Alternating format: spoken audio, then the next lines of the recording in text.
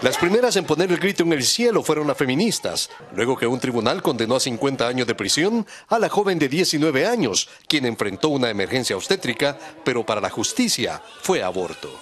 Esta es una condena desproporcionada, es la primera vez que a una mujer se le condena a 50 años.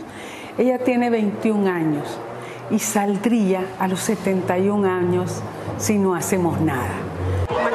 Las organizaciones de mujeres rechazan el fallo, el cual se preparan para apelar. Para este teólogo, según la ley divina, solo Dios puede quitar la vida.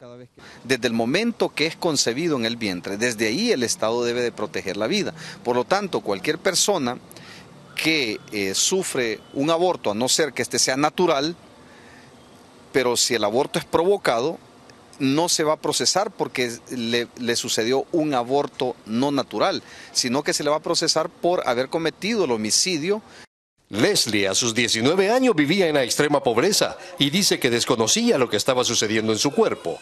El 17 de junio del 2020, cuando sintió deseo de defecar y sin saberlo comenzaba el trabajo de parto.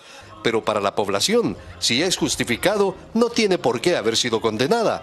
Si es por violación, creo que, que sí sería bueno el aborto, ¿verdad?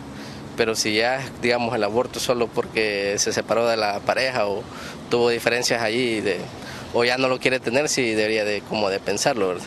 Organizaciones defensoras de los derechos humanos han exigido al Estado salvadoreño derogar la ley contra la interrupción del embarazo. Sin embargo, hasta el momento no se han obtenido resultados.